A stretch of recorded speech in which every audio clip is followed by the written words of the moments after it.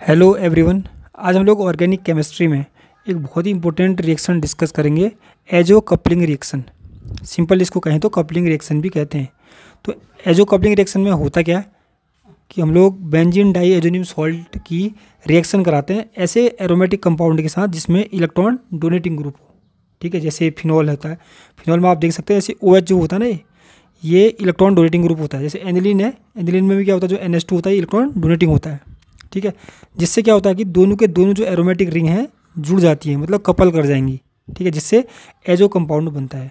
अगर हम लोग फिनॉल की रिएक्शन कराएँगे बेंजीन डाई एजोनियम क्लोराइड के साथ तो पैरा हाइड्रोक्सी एजो बेंजीन बनता है। ठीक है? ये एक ऑरेंज कलर का डाई होता है। मतलब कि अगर इस डाई को कोई करेगा तो ऑरेंज कलर आ जाएगा। ठीक है? अगर हम एनिलिन के साथ रिएक्शन कराएँ बेंजीन डाई एजोनियम क्लोराइड की तो पैरा एमिनो एजो बेंजीन बनता है और ये डाई होती है येलो कलर की। ठीक है कभी कभी एग्जामिनेशन में ये भी पूछ लेते हैं।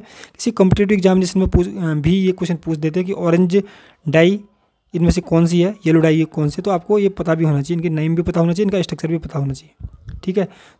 अब हम लोग देखते हैं कि बेंजीन डाइजोनिक क्लोराइड की रिएक्शन फिनॉल से किस मैकेनिज्म के थ्रू होती है, जिससे पैरा हाइड्रोक्सी एजो बेंजीन बनता है।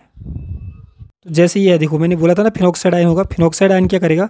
इस एन पर अटैक करेगा। ठीक है फिनोक्साइड एन का नेगेटिव चार्ज यहाँ पर आएगा तो यहाँ पर कार्बन ऑक्सीजन के बीच में डबल बॉन्ड बन जाएगा।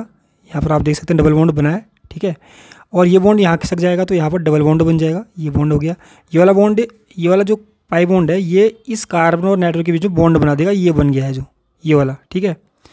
अब उससे क्या होगा? देखो, ये वाला बॉन्ड पाई बॉन्ड नाइट्रोजन पर शिफ्ट होगा। जैसे नाइट्रोजन पर शिफ्ट होगा तो नाइट्रोजन का न्यूट्रल मतलब कोई चार्ज उस पर रहेगा नहीं।